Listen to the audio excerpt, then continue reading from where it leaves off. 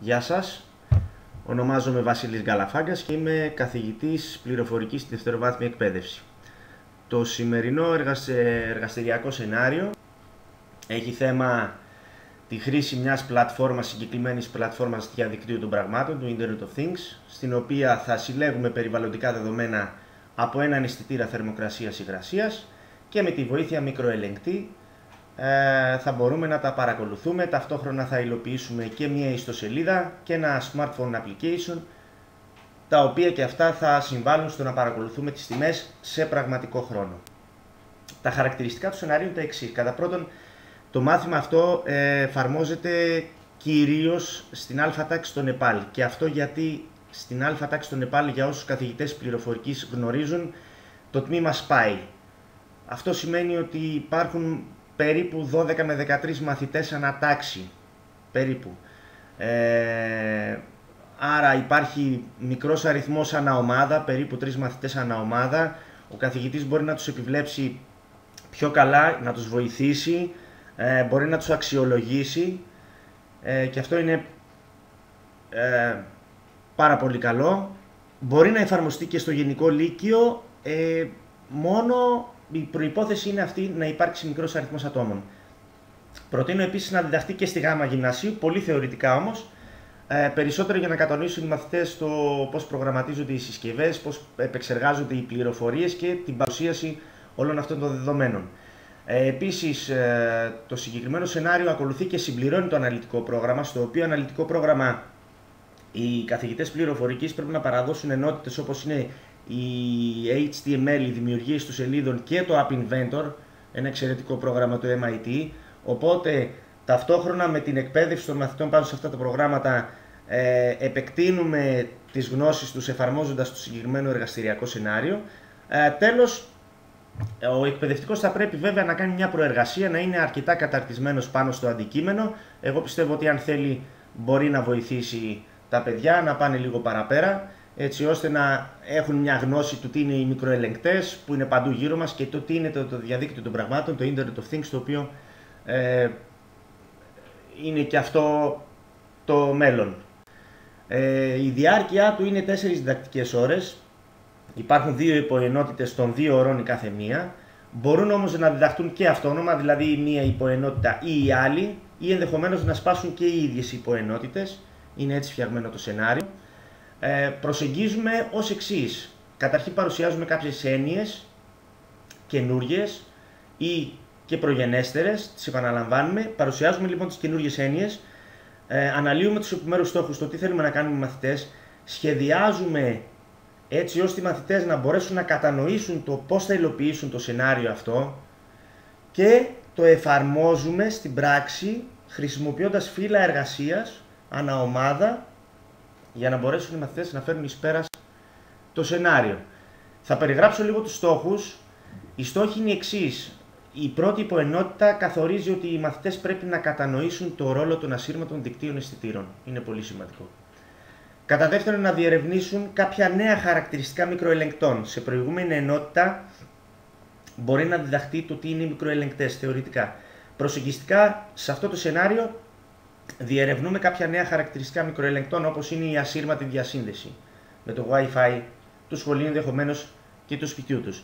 Ε, δημιουργούμε κύκλωμα, υλοποιούμε κύκλωμα στο εργαστήριο με μικροελεγκτή και αισθητήρα. Και τέλος προγραμματίζουμε το μικροελεγκτή έτσι ώστε ε, να μπορεί να επιτελέσει τη συγκεκριμένη διεργασία που θέλουμε. Τα αντικείμενο που πραγματεύεται η πρώτη υποενότητα είναι ένας μικροελεγκτής, τον οποίο έχει προαγοράσει ο καθηγητής, είναι φθηνά αυτά να τα αγοράσουμε. Αν ψάξουμε λίγο στο διαδίκτυο, ε, είναι φθηνά να τα αγοράσουμε.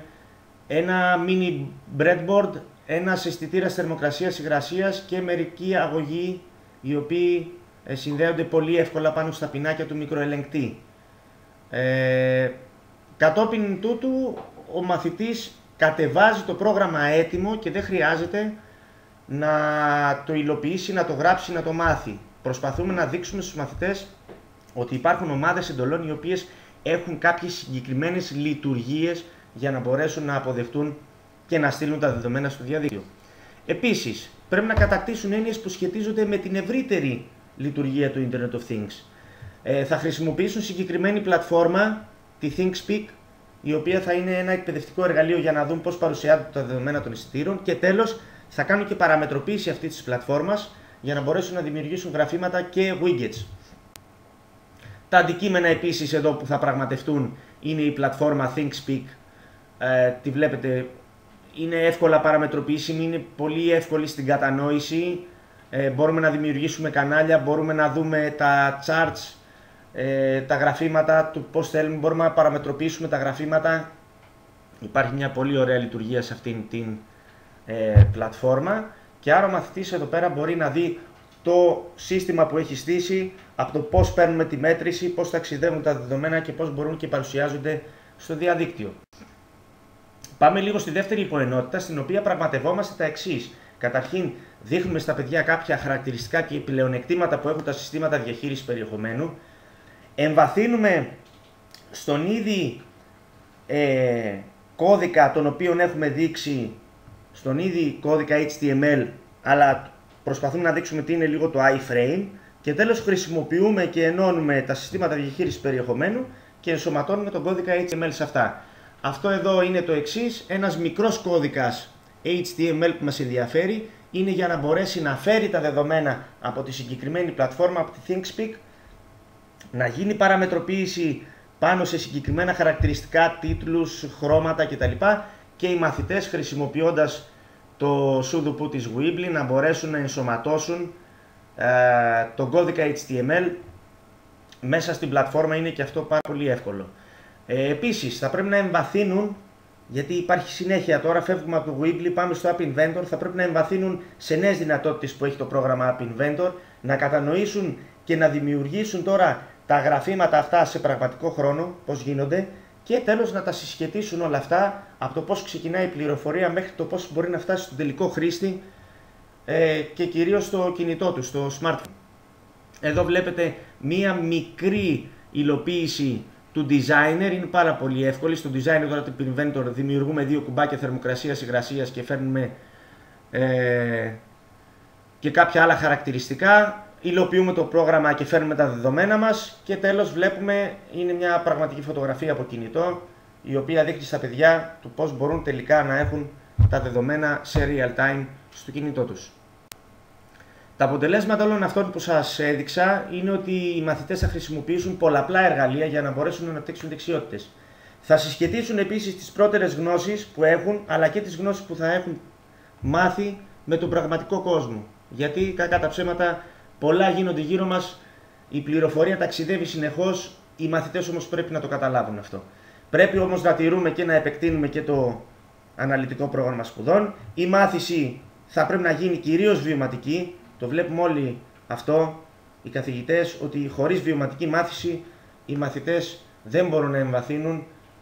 Ε, πιστεύω ότι όλα τα παραπάνω θα αποτέλεσουν ένα κίνητρο για να μπορέσουμε να καταρτήσουμε καλύτερα το, το μαθητικό δυναμικό των σχολείων μας. Ε, σας ευχαριστώ πολύ. Οτιδήποτε άλλο θα τα βρείτε στην ιστοσελίδα μου από φύλλα εργασίας μέχρι και παρουσιάσεις. Ευχαριστώ.